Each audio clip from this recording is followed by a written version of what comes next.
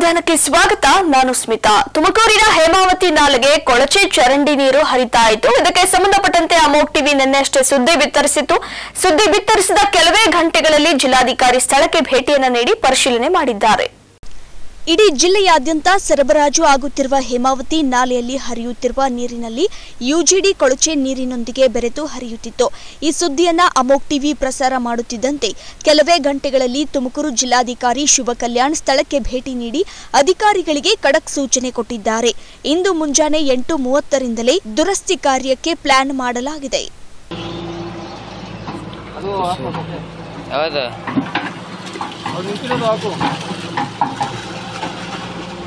ಹೌದು ಆಯ್ತು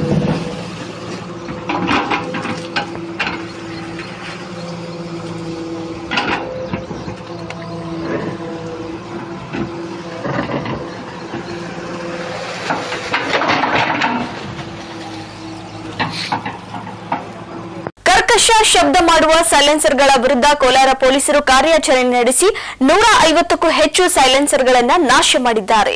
ಕೋಲಾರದಲ್ಲಿ ಬೈಕ್ ಸೈಲೆನ್ಸರ್ಗಳ ವಿರುದ್ಧ ಪೊಲೀಸರು ಕಾರ್ಯಾಚರಣೆ ನಡೆಸಿದ್ದಾರೆ. ಕರ್ಕಶ ಶಬ್ದ ಮಾಡುತ್ತಿದ್ದ ಬೈಕ್ ಸೈಲೆನ್ಸರ್ಗಳನ್ನು ನಾಶ ಮಾಡಿದ ಪೊಲೀಸರು ನಗರದ ಅಮ್ಮವಾರಿಪೇಟೆ ಸರ್ಕಲ್ನಲ್ಲಿ ಬುಲ್ಡೋಸರ್ ಮೂಲಕ ಸೈಲೆನ್ಸರ್ಗಳ ಮೇಲೆ ಬುಲ್ಡೋಸರ್ ಹತ್ತಿಸಿ ನೂರಾರು ಬೈಕ್ ಸೈಲೆನ್ಸರ್ಗಳನ್ನು ನಾಶ ಮಾಡಿ ಬೈಕ್ ಸವಾರರಿಗೆ ಎಚ್ಚರಿಕೆ ನೀಡಿದ್ದಾರೆ. ನಗರದಲ್ಲಿ ಸಾರ್ವಜನಿಕರಿಗೆ ಕಿರಿಕಿರಿ ಉಂಟು ಮಾಡುತ್ತಿದ್ದ ಸೈಲೆನ್ಸರ್ಗಳ ಕರ್ಕಶ ಶಬ್ದಕ್ಕೆ ಬೈಕ್ ಸವಾರರಿಗೆ ಸಾವಿರಾರು ರೂಪಾಯಿ ದಂಡ ಹಾಕಿದ್ದಾರೆ. ಕೋಲಾರ ಎಸ್ಪಿ ನಿಖಿಲ್ ನೇತೃತ್ವದಲ್ಲಿ ಕಾರ್ಯಾಚರಣೆ ಮುಂದುವರೆದಿದೆ. ಕಳೆದ ನಾಲ್ಕು ದಿನಗಳಿಂದ ಇಡೀ ಕೋಲಾರ ಜಿಲ್ಲೆಯಲ್ಲಿ ನಾವು ಈ ಸೈಲೆನ್ಸರ್, ಕರ್ಕಶ ಸೈಲೆನ್ಸರ್ ಡ್ರೈವ್ ಅನ್ನ ಹಮ್ಮಿಕೊಂಡಿದ್ವಿ. ಈ ಒಂದು ಡ್ರೈವ್ ಅಲ್ಲಿ ನಾಲ್ಕು ದಿನಗಳಲ್ಲಿ ನಮ್ಮ ಕೋಲಾರ ಸಬ್ ಡಿವಿಷನ್ ಮತ್ತು ಮುಳಬಾಗಿಲು ಸಬ್ ಡಿವಿಷನ್ ಎರಡು ಸೇರಿ ಟೋಟಲ್ ನೂರ ಐವತ್ತ ಎರಡು ಸೈಲೆನ್ಸರ್ಗಳನ್ನು ನಾವು ಸೀಸ್ ಮಾಡಿದ್ವಿ. ಇವೆಲ್ಲ ಅಬೌವ್ ಪರ್ಮಿಸಬಲ್ ಲಿಮಿಟ್ ಏನ್ ಡೆಸಿಬಲ್ ಲಿಮಿಟ್ ಇದೆ, ಅದರ ಮೇಲ್ಗಡೆ ಯಾವ ಯಾವ ಫಂಕ್ಷನಿಂಗ್ ಮಾಡ್ತಾ ಇತ್ತು ಅವನ್ನ ನಾವು ಸೀಸ್ ಮಾಡಿಕೊಂಡು ಪರ್ಮಿಷನ್ ತಗೊಂಡು ಇವಾಗ ಅದನ್ನ ಡಿಸ್ಟ್ರಾಯ್ ಮಾಡಿದೀವಿ, ಒಂದು ರೋಡ್ ರೋಲರ್ ಮುಖಾಂತರ.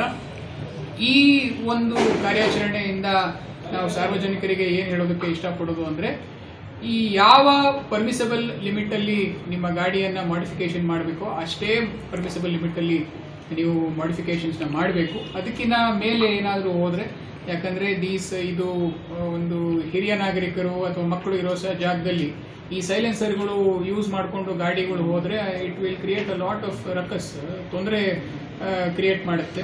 ಅವ್ರಿಗೆ ಕೇವಲ ಮಾನಸಿಕ ಅಲ್ಲದಲ್ಲೇ ಅವ್ರಿಗೆ ಕೆಲವು ಸರ್ತಿ ಅವ್ರು ಸಡನ್ ಆಗಿ ನಿಟ್ಟು ಬೀಳೋದು ಆಮೇಲೆ ಹಾರ್ಟ್ ರೇಟ್ ಸಡನ್ ಆಗಿ ಜಾಸ್ತಿ ಗ್ರಾಮ ಪಂಚಾಯಿತಿಯೊಂದರಲ್ಲಿ ಮಹಿಳೆಯೊಬ್ಬರು ಅಧ್ಯಕ್ಷೆಯಾಗಿ ಆಯ್ಕೆಯಾಗಿದ್ದು ಆದರೆ ಆಕೆಯ ಪತಿ ಅಧಿಕಾರದ ದರ್ಬಾರ್ ನಡೆಸುತ್ತಿರುವುದಲ್ಲದೆ ಜನರ ಕಣ್ಣಿಗೆ ಮಂಕು ಬೂದಿ ಬಳಿಯುವ ಕೆಲಸ ಮಾಡಿದ್ದಾನೆ.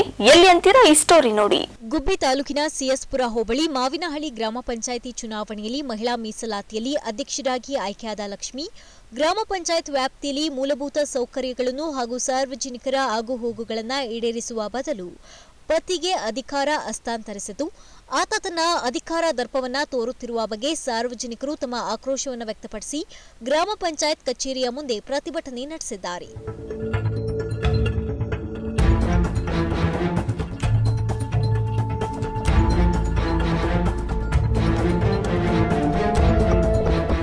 ಜಮೀನಿನಲ್ಲಿ ಕಟ್ಟಡವನ್ನ ಕಟ್ಟಲು ಅನುಮತಿ ಪತ್ರವನ್ನ ನೀಡುವಂತೆ ಪಂಚಾಯತ್ಗೆ ಅರ್ಜಿಯನ್ನ ಕೊಟ್ಟಿದ್ದು, ರಾಜಕೀಯ ದುರುದ್ದೇಶಕ್ಕಾಗಿ ಅಧ್ಯಕ್ಷೆ ಪತಿ ರವಿ ಪಿಡಿಒ ಅವರನ್ನು ದಾರಿ ತಪ್ಪಿಸುವ ಕೆಲಸ ಮಾಡಿ, ಅಧಿಕಾರಿಗಳಿಗೆ ತಪ್ಪು ಮಾಹಿತಿಯನ್ನ ಕೊಟ್ಟು ಅರ್ಜಿದಾರರ ವಿರುದ್ಧವೇ ನೋಟಿಸ್ ಕೊಡುವ ಜೊತೆಗೆ ಪೊಲೀಸ್ ಠಾಣೆಯಲ್ಲಿ ಕೇಸು ದಾಖಲು ಮಾಡಿರುತ್ತಾನೆ ಅಂತ ಗ್ರಾಮದ ನಿವಾಸಿ ಅಭಿಷೇಕ್ ಆರೋಪ ಮಾಡಿದ್ದಾರೆ?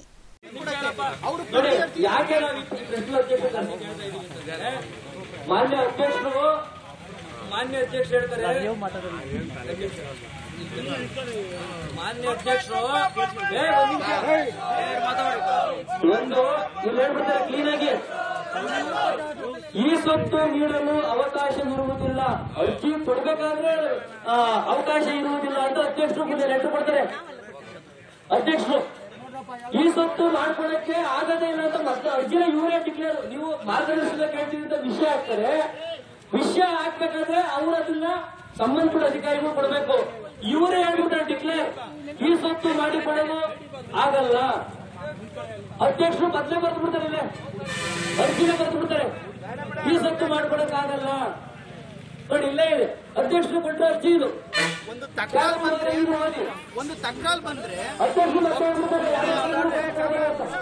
ಅಭಿಷೇಕ್ ಅವರು ನೀಡಿರುವ ಅರ್ಜಿಯನ್ನು ವಿಚಾರಿಸಲು ಚುನಾವಣಾ ನೀತಿ ಸಮಿತಿ ಇದ್ದ ಕಾರಣ ಸಭೆಯನ್ನ ಕರೆಯಲು ಸಾಧ್ಯವಾಗಿಲ್ಲ. ಅದಾದ ಬಳಿಕ ಸಭೆಯ ದಿನಾಂಕ ನಿಗದಿ ಮಾಡಲಾಗಿತ್ತು. ಅದಕ್ಕೆ ಆ ಸಮಯಕ್ಕೆ ತಾಯಿಯವರು ಮರಣ ಹೊಂದಿದ ಕಾರಣ ನಾನು ರಜೆಯಲ್ಲಿದ್ದೆ. ಇದೀಗ ಆಗಮಿಸಿದ್ದೇನೆ. ಜುಲೈ ಇಪ್ಪತ್ತೊಂಬತ್ತಕ್ಕೆ ಸಭೆಯನ್ನ ಕರೆಯಲಾಗಿದ್ದು, ಅಂದು ಅರ್ಜಿಯನ್ನ ಸಭೆಗೆ ತಂದು, ಬಳಿಕ ವಿಲೇವಾರಿ ಮಾಡಲಾಗುವುದು ಅಂತ ಪಿಡಿಒ ಮಂಜುಳಾ ತಿಳಿಸಿದ್ದಾರೆ. ಎಂದು ಮಾಜರ್ ಮಾಡಿ ಆ, ಮೀಟಿಂಗ್ನಲ್ಲಿ ನಾವು ಆ ವಾರ್ಡ್ ಸದಸ್ಯರು ಸೈನ್ ಹಾಕಿಸ್ಕೊಂಡು ಇದನ್ನ ಮಾಡ್ತಾ ಇದ್ದೀವಿ. ಅವರ ಅರ್ಜಿಗಳನ್ನ ಎಲ್ಲ ನಾವು ಡಿಸ್ಕಸ್ ಮಾಡ್ತಾ ಇದ್ದೀವಿ. ಇದಕ್ಕೆ ತಕರಾರು ಬಂದಿರೋದ್ರಿಂದ ಅಂತಿಮವಾಗಿ ಸಾಮಾನ್ಯ ಸಭೆಯಲ್ಲಿ ಚರ್ಚೆ ಮಾಡಿ ಅಂತ ಹೇಳಿದ್ದಾರೆ. ನೀವು ಕೊಟ್ಟಾಗಿನ ಕೋಡ್ ಆಫ್ ಕಂಡಕ್ಟ್ ಇದ್ದು ಮೀಟಿಂಗು ಓದ್ತಿರುವ ಒಂದಿನ ಒಂದು ಡಿಲೇ ಆಗಿದೆ. ರಾಜಕೀಯ ಲೋಭಕ್ಕಾಗಿ ಸಾರ್ವಜನಿಕರನ್ನ ಎದುರು ಹಾಕಿಕೊಂಡು ಪತ್ನಿಯ ಅಧಿಕಾರವನ್ನ ದುರುಪಯೋಗ ಮಾಡಿಕೊಳ್ಳುತ್ತಿರುವ ವ್ಯಕ್ತಿಯ ವಿರುದ್ಧ ಪ್ರತಿಭಟನೆಯನ್ನ ನಡೆಸಿ, ಪ್ರತಿಭಟನಾ ಸ್ಥಳಕ್ಕೆ ಅಧ್ಯಕ್ಷರು, ಅಧಿಕಾರಿಗಳು ಆಗಮಿಸಿ ಸಮಸ್ಯೆಯನ್ನ ಬಗೆಹರಿಸುವಂತೆ ಪ್ರತಿಭಟನಾಕಾರರು ಆಗ್ರಹಿಸಿದರು. ಪ್ರತಿಭಟನೆಯಲ್ಲಿ ಗೌಸ್, ಗಿರೀಶ್ ಸೇರಿದಂತೆ ಹಲವು ಮುಖಂಡರು ಉಪಸ್ಥಿತರಿದ್ದರು. ಸಬ್ ಇನ್ಸ್ಪೆಕ್ಟರ್ ಸುನೀಲ್ ಕುಮಾರ್ ಹಾಗೂ ಸಿಬ್ಬಂದಿ ಪ್ರತಿಭಟನಾ ಸ್ಥಳದಲ್ಲಿಯೇ ಮೊಕ್ಕಮ ಹೂಡಿತು ಪ್ರತಿಭಟನಾಕಾರರನ್ನ ಮನವೊಲಿಸಿದ ಕಾರಣ ಪ್ರತಿಭಟನೆಯನ್ನ ಹಿಂಪಡೆಯಲಾಯಿತು. ಕೇಂದ್ರ ಬಜೆಟ್ನಲ್ಲಿ ಈ ಬಾರಿ ಯುವಕರು, ರೈತರು ಹಾಗೂ ಮಧ್ಯಮ ವರ್ಗಕ್ಕೆ ಉತ್ತಮ ಕೊಡುಗೆ ನೀಡಿರುವುದು ಸಂತಸದ ವಿಷಯವೆಂದು ಚಿಕ್ಕಬಳ್ಳಾಪುರ ಬಿಜೆಪಿ ಜಿಲ್ಲಾಧ್ಯಕ್ಷ ಡಿವಿ ರಾಮಲಿಂಗಪ್ಪ ಅಭಿಪ್ರಾಯ ವ್ಯಕ್ತಪಡಿಸಿದ್ದಾರೆ. ನಿರ್ಮಲಾ ಸೀತಾರಾಮನ್ ನೇತೃತ್ವದ ಏಳನೇ ಬಜೆಟ್ ಮಂಡನೆಯಾಗಿದ್ದು, ಆರ್ಥಿಕವಾಗಿ ಭಾರತವನ್ನು ಸದೃಢಗೊಳಿಸುವ ಕಾರ್ಯ ಮಾಡಿದ್ದಾರೆ. ಕೇಂದ್ರ, ರಾಜ್ಯ ಸರ್ಕಾರವನ್ನ ಕಡೆಗಣನೆ ಮಾಡಿಲ್ಲ. ಈ ಬಜೆಟ್ನಲ್ಲೂ ರೈತ, ಯುವಕರು ಹಾಗೂ ಮಧ್ಯಮ ವರ್ಗಕ್ಕೆ ಉತ್ತಮ ಕೊಡುಗೆಯನ್ನ ನೀಡಿದ್ದಾರೆ. ಬಿಜೆಪಿ ನೇತೃತ್ವದ ಎನ್ಡಿಎ ಸರ್ಕಾರದ ಮೊದಲ ಬಜೆಟ್ ಭಾರತದ ಆರ್ಥಿಕ ಚಿತ್ರಣವನ್ನ ರೂಪಿಸಲು ಯೋಜಿಸಲಾಗಿದೆ. ಮೂಲಸೌಕರ್ಯ ಅಭಿವೃದ್ಧಿಯಿಂದ ಸಾಮಾಜಿಕ ಕಲ್ಯಾಣ ಕಾರ್ಯಕ್ರಮಗಳವರೆಗೂ ಎಲ್ಲವನ್ನೂ ಪರಿಣಾಮ ಬೀರುವಂತೆ ಮಾಡಿದ್ದಾರೆ ಅಂತ ತಿಳಿಸಿದರು. ನರೇಂದ್ರ ಮೋದಿ ಜಿಯವರು ಪ್ರಧಾನಮಂತ್ರಿಯಾದ ಮೂರನೇ ಅವಧಿಯಲ್ಲಿ ನಮ್ಮ ಹೆಚ್ಚಿನ ಆರ್ಥಿಕ ಫೈನಾನ್ಸ್ ಮಿನಿಸ್ಟರ್ ಆಗಿರ್ತಕ್ಕಂಥ ನಿರ್ಮಲಾ ಸೀತಾರಾಮನ್ ಅವರು ಬಜೆಟನ್ನು ಮಂಡಿಸಿ ಇವತ್ತು ಬೆಳಗ್ಗೆ ಹನ್ನೊಂದು ಗಂಟೆಗೆ ಪಾರ್ಲಿಮೆಂಟಲ್ಲಿ ಬಜೆಟನ್ನು ಮಂಡಿಸಿದ್ದಾರೆ.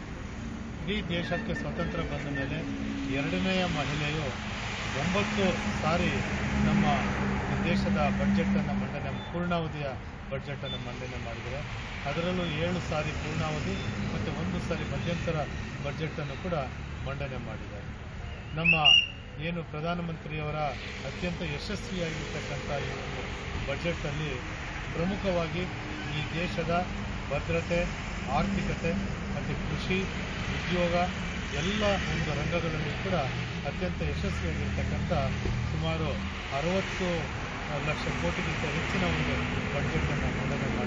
ಆರ್ಥಿಕ ಅಭಿವೃದ್ಧಿ ಮತ್ತು ಜನಕಲ್ಯಾಣದ ಸಮತೋಲನ ಸಾಧಿಸಿರುವ ಕೇಂದ್ರ ಬಜೆಟ್ ತನ್ನ ಆಡಳಿತದ ರಾಜ್ಯಗಳನ್ನ ಆರ್ಥಿಕವಾಗಿ ದಿವಾಳಿ ಮಾಡುತ್ತಿರುವ ಕಾಂಗ್ರೆಸ್ ಸರ್ಕಾರಗಳಿಗೆ ಒಂದು ಉತ್ತಮ ಪಾಠವಾಗಿದೆ. ಕೃಷಿ ಕ್ಷೇತ್ರದ ಸಮಗ್ರ ಪ್ರಗತಿಯ ದೃಷ್ಟಿಯಿಂದ ಹಲವು ಯೋಜನೆಗಳನ್ನು ತರಲಾಗಿದೆ. ಇದರಿಂದಾಗಿ ಜಿಲ್ಲೆಯ ಚಿಕ್ಕಬಳ್ಳಾಪುರ, ಬಾಗೇಪಲ್ಲಿ, ಗುಡಿಬಂಡೆ ತಾಲೂಕಿನ ಕೆಲ ಭಾಗದ ಜನರ ಆರ್ಥಿಕ ಸ್ಥಿತಿಯಲ್ಲಿ ಅಗಾಧ ಸುಧಾರಣೆ ಆಗಲಿದೆ ಅಂತ ತಿಳಿಸಿದರು.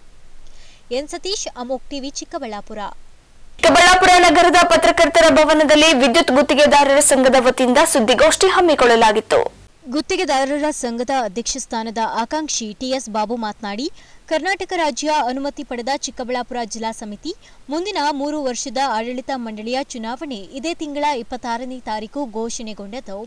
ಒಟ್ಟು ಹದಿನಾರು ಸ್ಥಾನಗಳಿಗೆ ಆಕಾಂಕ್ಷಿಗಳು ಕಣದಲ್ಲಿದ್ದಾರೆ. ನಾಲ್ಕನೇ ತಾರೀಕು ಚುನಾವಣೆ ಪ್ರಕ್ರಿಯೆ ಆರಂಭಗೊಂಡಿದ್ದು, ಎಂಟರಂದು ಆಡಳಿತ ಮಂಡಳಿ ಹಾಗೂ ಕಾರ್ಯಕಾರಿ ಸಮಿತಿ ಹದಿನೈದು ಸ್ಥಾನಗಳಿಗೆ ಅವಿರೋಧ ಆಯ್ಕೆ ಮಾಡಲಾಗಿದೆ. ಇನ್ನು ಉಳಿದ ಕೇವಲ ಒಂದು ಅಧ್ಯಕ್ಷ ಸ್ಥಾನಕ್ಕೆ ಮಾತ್ರ ಚುನಾವಣೆ ನಡೆಯಲಿದೆ. ಇದು ಮತದಾರರ ಗಮನದಲ್ಲಿ ಇರಲಿ, ವಿರೋಧ ಬಣದ ಮಿಸ್ ಗೈಡ್ಗೆ ಒಳಗಾಗದಿರೆ. ಮೂರು ವರ್ಷಗಳ ಕಾಲ ಗುತ್ತಿಗೆದಾರ ಕ್ಷೇಮಾಭಿವೃದ್ಧಿಗಾಗಿ ಗುತ್ತಿಗೆದಾರರ ಸಂಘಕ್ಕೆ ಒಗ್ಗಟ್ಟಿನಿಂದ ಪ್ರಾಮಾಣಿಕವಾಗಿ ಸೇವೆ ಸಲ್ಲಿಸಲು ಅವಕಾಶ ಮಾಡಿಕೊಡಿ ಅಂತ ತಿಳಿಸಿದರು. ಪ್ರಕ್ರಿಯೆ ಆಗಿ ಎಂಟನೇ ತಾರೀಕೆ ಕೊನೆ ಆಗ್ತಾ ಇತ್ತು. ಅಪ್ಲಿಕೇಶನ್ ಹಾಕೋದು ತೆಗೆಯೋದು. ಎಂಟನೇ ತಾರೀಕು ಹದಿನಾರು ಜನ ಅಭ್ಯರ್ಥಿಗಳನ್ನು ನಾವು ಅವಿರೋಧವಾಗಿ ಆಯ್ಕೆ ಮಾಡಿದ್ದೀವಿ. ಓನ್ಲಿ ಒಂದೇ ಒಂದು ಇದು ಪೋಸ್ಟ್ ಅಧ್ಯಕ್ಷರ ಪೋಸ್ಟಿಗೆ ಮಾತ್ರ ಈ ಒಂದು ಪೋಸ್ಟ್ಗೆ ಇಬ್ಬರು ಅಭ್ಯರ್ಥಿಗಳ ಕಣದಲ್ಲಿದ್ದಾರೆ. ಒಂದು ಗೌರಿಬಿಂದೂರವರು ಚಿಕ್ಕಬಳ್ಳಾಪುರದವರು. ಈ ಒಂದು ನಂದು ಸೀರಿಯಲ್ ನಂಬರು ಒಂದು. ನಾನು ಯಾಕೆ ಸ್ಪರ್ಧೆ ಮಾಡ್ತಾ ಇದ್ದೀನಿ ಅಂತಂದ್ರೆ ಇಡೀ ಜಿಲ್ಲೆಯಲ್ಲಿ ನಾನಾ ಥರ ಸಮಸ್ಯೆಗಳಿದ್ದಾವೆ. ಅಧಿಕಾರಿಗಳ ವಿರುದ್ಧ ಹೋರಾಡ ಹೋರಾಡಬೇಕು. ನ್ಯಾಯಯುತ ಸಂಬಂಧದಲ್ಲಿ ನ್ಯಾಯ, ನ್ಯಾಯದ ನ್ಯಾಯದ ಮುಖಾಂತರ ನಮ್ಮ ಡಾಕ್ಟರ್ ಬಿ ಆರ್ ಅಂಬೇಡ್ಕರ್ ಅವರು ಏನು ಸಂವಿಧಾನ ಕೊಟ್ಟಿದ್ದಾರೆ, ಅದರ ಮುಖಾಂತರ ನಾವು ನಮ್ಮ ಸದಸ್ಯರಿಗೆ, ಗ್ರಾಹಕರಿಗೆ ನ್ಯಾಯ ಒದಗಿಸಬೇಕಂತ ಅಂದ್ಬಿಟ್ಟು ಆ ನಿಟ್ಟಿನಲ್ಲಿ ನಾವು ಸತತವಾಗಿ ಹಿಂದೆಯೂ ಸಹ ಹಿಂದೆ ನಾನು ಜಿಲ್ಲಾಧ್ಯಕ್ಷನಾಗಿದ್ದೆ, ಕೇಂದ್ರ ಕಾರ್ಯಕಾರಿ ಸಮಿತಿ ಸದಸ್ಯನಾಗಿದ್ದಾಗೂ ಸಹ ಅನೇಕ ರೀತಿಯಲ್ಲಿ ನಾನು ಕಾರ್ಯಕ್ರಮಗಳನ್ನು ಕೊಟ್ಟಿದ್ದೇನೆ ಸದಸ್ಯರಿಗೆ. ಅನೇಕ ಬಾರಿ ನಾನು ಒಂದು ಅನಿರ್ದಿಷ್ಟಾವಧಿ ಮುಷ್ಕರಗಳನ್ನು ಕೈಗೊಂಡು ಜಿಲ್ಲಾಧಿಕಾರಿಗಳು ಮನವಿ ಕೊಟ್ಟಿದ್ದೀನಿ, ಸರ್ಕಾರಕ್ಕೆ ಮನವಿ ಕೊಟ್ಟಿದ್ದೀನಿ, ಅಧಿಕಾರಿಗಳ ವಿರುದ್ಧ ಹೋರಾಡಿದ್ದೀನಿ ನಮ್ಮ ಸದಸ್ಯರ ಪರವಾಗಿ. ಆ ಒಂದು ನಿಟ್ಟಿನಲ್ಲಿ ಈ ಮುಂದಿನ ಮೂರು ವರ್ಷಗಳಿಗೆ ನಾನಾದರೆ ಎಲ್ಲ ನಮ್ಮ ಸದಸ್ಯರಿಗೆ ನ್ಯಾಯ ಒದಗಿಸ್ತೀನಿ ಅಂತ ಅಂದ್ಬಿಟ್ಟು ಒಂದು ಸರ್ವಿಸ್ ಮಾಡಬಹುದು ಒಂದು ಉದ್ದೇಶದಿಂದ ನಾನು ಸ್ಪರ್ಧೆ ಮಾಡ್ತಾ ಇದ್ದೀನಿ. ಇಡೀ ಜಿಲ್ಲೆಯ ಗುತ್ತಿಗೆದಾರರು ಪ್ರತ್ಯಕ್ಷವಾಗಿ, ಪರೋಕ್ಷವಾಗಿ ಸಹ ನನಗೆ ಬೆಂಬಲ ಕೊಡ್ತಾ ಇದ್ದಾರೆ. ಈ ಒಂದು ನಿಟ್ಟಿನಲ್ಲಿ ಇಪ್ಪತ್ತಾರನೇ ತಾರೀಕು ಎಲ್ಲ ಸದಸ್ಯರು ಬಂದು ನನಗೆ ಕ್ರಮ ಸಂಖ್ಯೆ ಒಂದಕ್ಕೆ ಮತ ಕೊಟ್ಟು ಜಯಶೀಲರನ್ನಾಗಿ ಮಾಡಬೇಕೆಂದು ಈ ಒಂದು ಮೀಡಿಯಾ ಮುಖಾಂತರ ತಮ್ಮೆಲ್ಲರಿಗೂ ಸಹ ಮನವರಿಕೆ ಮಾಡ್ತಾ ಇದ್ದೀನಿ. ಜೈ ಹಿಂದ್ ಜೈ ಕರ್ನಾಟಕ. ನನ್ನ ಹೆಸರು Babu T S.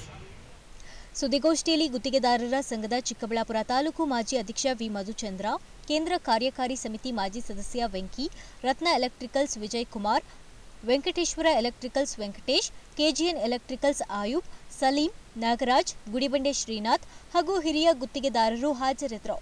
N Satish Amogh TV Chikkaballapur. ಇದಿಷ್ಟು ಸುದ್ದಿಗಳು ನೋಡ್ತಾ ಇರಿ ಅಮೋಕ್ ಟಿವಿ ಎಂದೆಂದಿಗೂ ನಿಮ್ಮೊಂದಿಗೆ.